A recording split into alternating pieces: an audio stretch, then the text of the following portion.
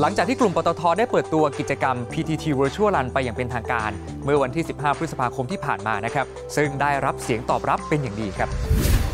โครงการ PTT Virtual Run ลมหายใจเพื่อน้องสำเร็จตามเป้าหมายอย่างรวดเร็วนะครับ กับปรากฏการ์เดินวิ่ง 600,000 กิโลเมตร เพียง 6 วัน สามารถช่วยน้องๆ ที่มีความเสี่ยงหลุดออกจากระบบการศึกษากว่า 60,000 คน กลับโรงเรียนอีกครั้งในภาคเรียนปีการศึกษา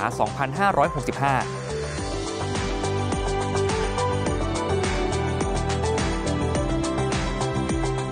และด้วยความตั้งใจของทุกคนครับ จึงเป็นแรงบันดาลใจให้ทางปตทนั้น มุ่งมั่นเดินหน้าต่อ กิจกรรม PTT Virtual Run เพื่อลดช่องว่างทางการศึกษาต่อไป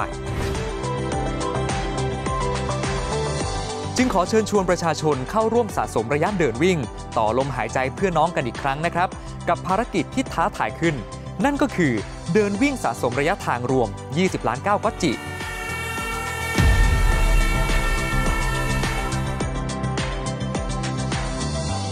โดยทุก 1 กิโลเมตร เท่ากับ3ก้าก็จิ เพื่อจัดตั้งกองทุนแรกเริ่ม ศูนย์ช่วยเหลือเด็กและเยาวชน ในวิกฤตการศึกษาจำนวน 20 ล้านบาท ร่วมกับกสศครับสำหรับดูแลเด็กและเยาวชนที่ได้รับผลกระทบ จากสถานการณ์ หรือเหตุปัจจัยไม่คาดคิด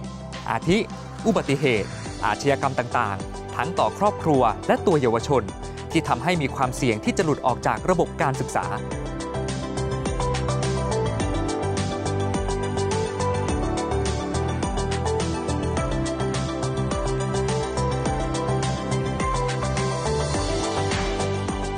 คุณผู้ชมสามารถร่วมกิจกรรมนี้ได้จนถึงวันที่ 30 มิถุนายนนี้นะครับ หรือสามารถดูรายละเอียดเพิ่มเติมได้ครับ ที่ทาง w w w